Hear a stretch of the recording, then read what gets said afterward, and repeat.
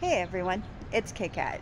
Now, um, I was supposed to do a vlog on Sunday after my date last weekend, but I did do the vlog, but um, apparently um, my phone decided to do everything upside down. I don't know how I managed to do that, but um, it was my phone. I didn't like the format or the setup of it. Everything was like literally my face was here, but it was like upside down and I just I don't at that point I just I was like I'll I'll change it. I'll I wanted to redo the video, but I ended up not doing it because I got super busy and whatnot. But yeah, now I hope, um, I think I have fixed my phone to a certain point. Um, so hopefully the video doesn't show me upside down like the last time. With that being said, um, if you have followed my um, vlogs as of recently. Um, the latest vlog, uh, the last vlog that I had was uh, in preparation for the date that I went on. And uh, don't get me wrong, date was good, guy was good. He came to pick me up. Um, we he came to pick me up at work and um, which was awesome. Um, was he my type? Not necessarily, because I usually fall for dark haired, you know, brown eyes, dark hair, you know, type people.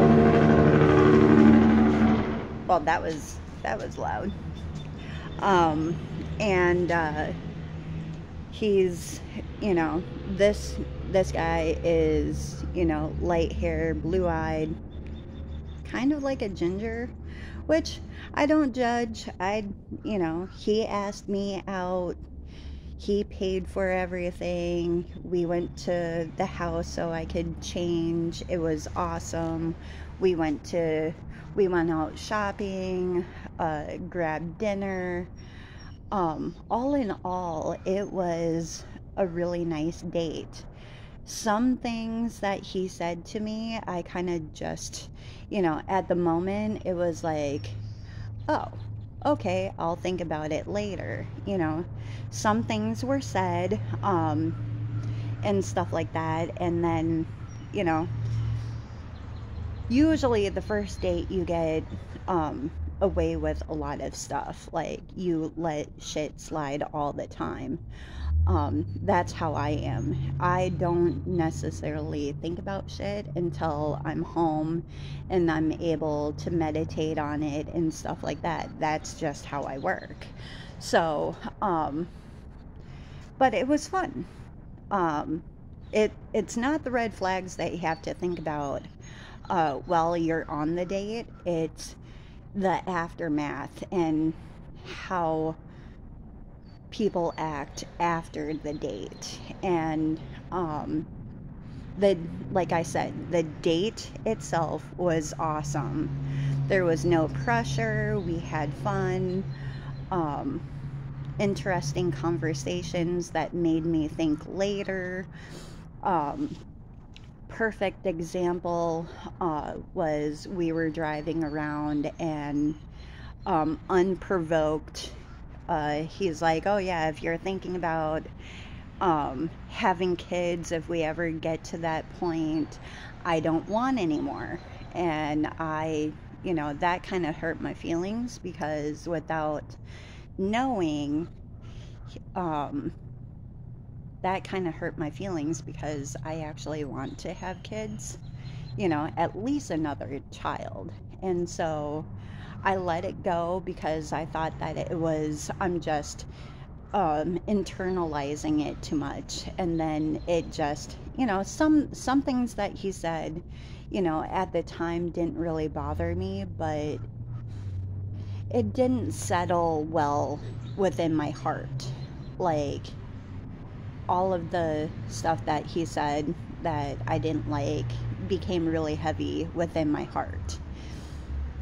That's not a strike against anybody. That's just how I am. I let shit go and then I think about it later. That's how I roll.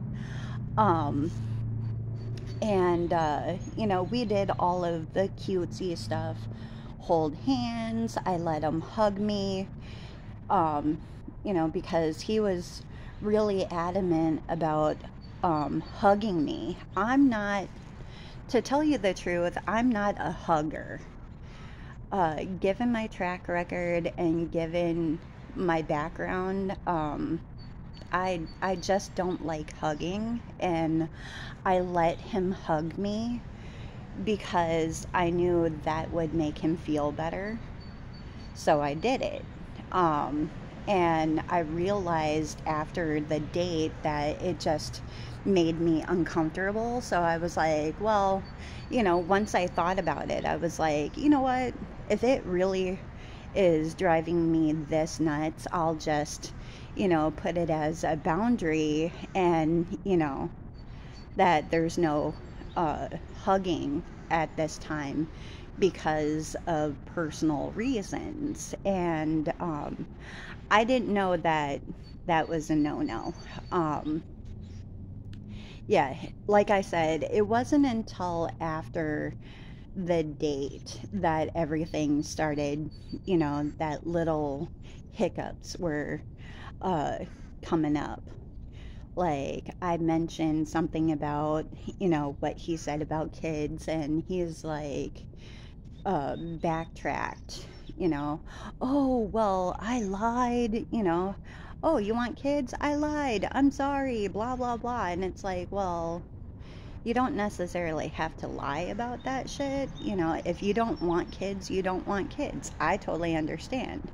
But it every like rebuttal of what I was saying to him felt like I was being attacked and like my my feeling towards uh, him or the date or about us didn't matter. Oh, you want to put a, you know, I said something about uh, putting the boundary up for like no hugging because he asked me if he could hug me this time or the uh, the next date and I said I'm sorry I don't feel comfortable um, I'm sorry but no before I could even uh, get the explanation out as to why I didn't want a hug I got a four pa- uh, four page yeah, four paragraphs of yeah, everything every time that I put a boundary down or I told him I didn't like something about him, um, I was immediately in the wrong in his eyes. You need, yeah. If I have to hear another, you know, him say to me one more time, well, maybe it's a you thing and not me. Like he was whining that I didn't call him. Like he was really adamant that I should call him. And I was like, well, if you really wanted to call me, you can call me. But I'm not, to tell you the truth, I'm not a really big caller. I'm more of a texter. Like, I don't need to call you all the time. You know, you're not my man. We're just dating. And I think what it really boils down to is um, between the both of us, we have two different well established meanings of the word dating. You know, my thing, it, my version of dating is I get to hang out with you for a little bit, you know, get to know you. I'm in the know you phase, you know, and you know pros cons do all of that good stuff and you know if you if we have stuff in common, that's awesome. But if we need to work on stuff, you know, I don't feel like I have to change everything. Um,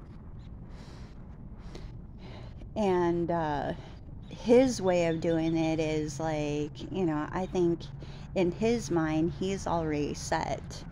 You know, the dude is 45 years old. You know, he's set in his ways. Oh, I'm a man. I'm a good guy. I don't have to change for anybody. And that behavior kind of scares me because, and to tell you the truth, the last couple of days has been kind of scary because, you know, almost to the point where I want to cry and I don't want to see this guy. And I wouldn't say it like that if I hadn't gotten the text message after uh, early this morning, like when I got up. Um, yesterday was really hard for us because I wanted to hash out some stuff. I was like, yo, um, he basically asked me, where am I in your world? And I was like, well, you know, I tried everything. I was like, is there a way that you can give me time? I need time to process how I feel about you. Well, that wasn't good enough. Well, you shouldn't have to think about me like that. If you actually cared about me, you wouldn't have to, you know, have time. I want you here and all of that stuff. Like, I'm all down for sacrifices, but if I am not being heard, I'm not going to do it. Like, he was whining, again, he was whining. Uh, he's like, Well, we haven't talked on the phone. Um, why why can't we talk on the phone? Well, in all honesty, the last couple of times that I was on the phone with this guy, all he ever did was talk over me. Like, you know, by the time I am in the conversation, I, all I'm doing is, uh huh, uh huh, oh no, uh huh, uh huh. I don't want that. Like, anything that, you know, I felt overshadowed. And every time that I do have a thought, or I do have um, something going on. And I'm not just saying this because I know the first person that's going to see this fucking video is the dude that I'm talking about, which that is kind of scary. but this is just me being real and like the whole, you know, putting up boundaries, you know, the whole putting a boundary down because I don't want to hug you on the, you know, I don't want to hug you right now. It wasn't the act itself. The hug was fine. It was the way that he acted afterwards, what he said to me, and made the weird comment about my boobs touching him. Like, it really, yeah, it was really weird and you know uncalled for. Like it it literally you know just sent me the wrong way. And i'm sorry if it made me sound like a bitch or whatnot but sometimes you know putting a healthy boundary like that like hey i don't want to hug you it does not mean that i don't want to you know, that I'm closed off, I'm thinking about my ex. First of all, you need to stop. Yeah, the dude actually needed to stop talking about my past. Every like negative thing or every, you know, every time that I said something that he should work on, it's like, you know, he would retort to saying, Oh, you need to get out of the past. You need to let go. You need to let go, girl. I'm not the issue. I'm this. I'm like, if I really, first of all, dude, if I really needed to listen to all this, I would have gone back to my ex because he was really good at lecturing me about letting go of the past. Second of all, I have done way too much therapy and working on myself to listen to this garbage. Like, if you wanted a sign as to whether we should have a second date today, come a little bit closer. I don't want to date you. If I feel this way and like seriously, I'm about ready to like beat a bitch up. Like I don't care if you're six four and maybe 150 pounds with a quote unquote dad bod. Yeah, right. You need to eat like six cheeseburgers in order to have a dad bod. Ugh. Um if I really wanted this in my life, I would continue. Um, I had said something on Facebook because uh, yesterday, like I said, was a doozy of a day. Hold on, I'm I gotta get coffee. Oof, sun was in my eyes. Um, I it was a doozy of a day. Um, and uh, because, you know, we, I really wanted to discuss it, but I didn't want to go on the phone. I didn't want to call him because, again, I wouldn't have been able to talk to him because he overpowers everything um, while he's over the phone. Like, the dude screams in my ear. Like, that's not sexy. That's no. Like, but you know, it was, I don't know where it all went wrong. I think it's because he opened his mouth and was like, I'm 45 years old. I don't give a shit. It shows. Like, dude, I, like I said, I've been through so much therapy to get past the whole you're living in the past and you're thinking about your ex. No, dear. I compared your guys' behavior, not you two in general. I it was the behavior that you threw at me, not yeah. My ex was complete trash. If I I'm not comparing you to him in that regards. I'm comparing your behavior. Like it it's bad and I'm sorry that um, you don't understand, but I really don't need you. Like I'm using this platform. I've I've been having this platform for almost 2 years. And it's pretty sad that I have to you know, the only way that I can communicate and probably get my uh, my words across without, you know, sounding like a dick over the phone is making a vlog. But yeah, I yeah, and if it wasn't for the text message that I got this morning, like I said, uh, where he's like, Well, I'm a good guy. I don't think that it's me. Maybe it's you. That just goes to show that you weren't listening to me at all. And I think we're done with the whole talking because if I have to hear you say one more time about me moving forward from my past, you're just digging your own grave. And I hope you have the day that you deserve because, yeah, you deserve it. Yeah, I don't think you uh, deserve to have a good woman like me, especially a healthy relationship if you are only going to tell me that I'm wrong. Um, and by the way, boundaries are a healthy thing if a woman doesn't have boundaries, she doesn't care about herself. And she's more likely to have cooties. So, yeah, have fun with that.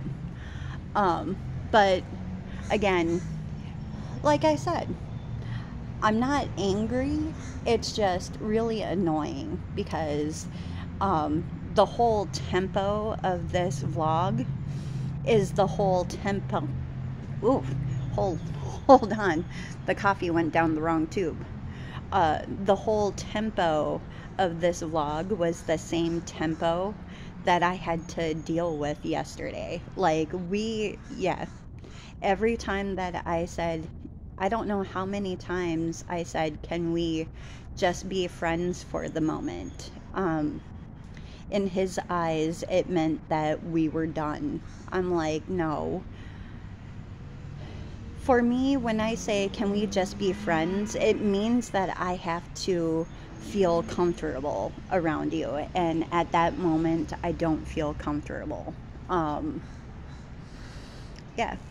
I think right now I feel hurt because when I speak my truth, and this is what hurts because I don't want to see the guy today at all because I'm crying. Um, if my truth is making you uh, tell me, oh, you need to get past your ex, you're not listening. I need someone who listens.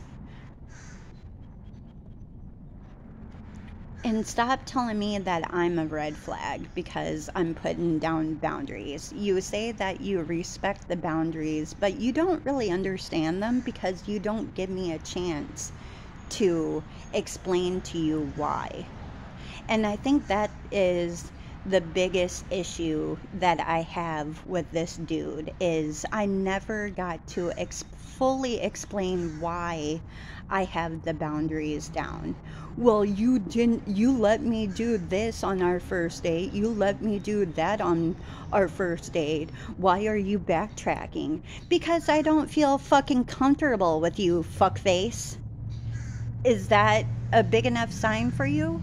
Like I know you are watching this video, and I hope to God that I have cleared stuff up. Like, I'm to the point where I'm just pissed off and I don't want to go out with anybody right now. Like, I. If. If. Yeah. Yesterday. I'm sorry, I'm like speechless right now. But yesterday, it was really hard for me because, um, granted, I did not call him on the phone. We were texting. And while I was texting him, every like response I got, I was literally like screaming at my phone, You don't fucking get it. Like, if I'm screaming at my phone and, you know, I mean, I worried. My sister was worried about me. She she was like, "You know what? You should just block him." You know, everybody is telling me to block you, you know. I don't need this. So, if you're watching the video, be warned. You're going to be blocked.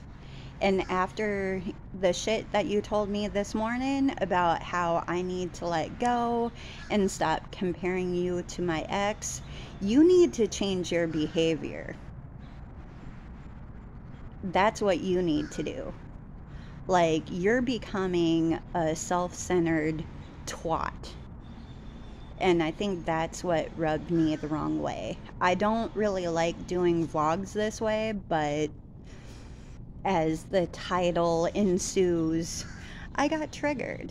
And I'm allowed, you know, I thought about it last night. I didn't really get a lot of sleep um, thinking about it. But in the end, I need peace. And if talking to you means that I don't get any peace because you're just going to bring up, oh, well, you need to get past your you know, the past is in the past, um, then I don't know what to tell you. Like, I know you say that you wanted 50 50, but if I have to change every fucking thing about myself so you can be like, Mr. I don't have to, you know, I don't have to fix you type thing, like, it's not going to work. Like, I've already changed a lot. Like I said, I've already done the therapy sessions. I'm in a good headspace. I don't really need this energy around me. And again, for the record, before I beat the living shit out of you because, you know, I I I'm sorry, I'm not a violent person, but it's really it really bugs me. Like I think it's the whole you need to change type vibe. And I'm always perfect. I don't need to change anything. Yes, you have a job. Yes, you have a car. You have a place to live but it also shows that you haven't been in a relationship for four years. It also shows that your wife, you know, you lost a wife, you lost your family. And so you are stuck in your ways. I get that. But if I put up, yeah. God, I don't know what to say. I'm so freaking angry. Like, I'm frustrated and I'm angry. I don't get it. Like, I've never been this way on a date, and I don't think I want to do this again. Like, mm, I really don't want to go on a date today. Like, I'm about ready to, like, smack him. So if you, uh, and I know the guy that I'm talking about is watching this vlog, he's probably going to be the first five people that will watch this along with my best friend. I, let's not go out on a date. I don't want to, um, I don't want a body count. Like, I'm so fed up between the last couple of days and this morning's text. I think because of this morning's text, I think that's how this vlog turned out. Um, it's just, yeah, I. I think I'm going to go into work and start making bread and do what I need to do but that was the gist that was basically the the review on my date and the aftermath. If i had known that all of these triggers were going to happen and you know the response that i was going to get from the guy just because i needed time and boundaries i don't think i would have gone out with him. Like even good guys have have you know a flag and word to the wise i'm not a red flag i just know what i want and you're not it I will see you guys now that I did a formal rant. I will see you guys in the next vlog.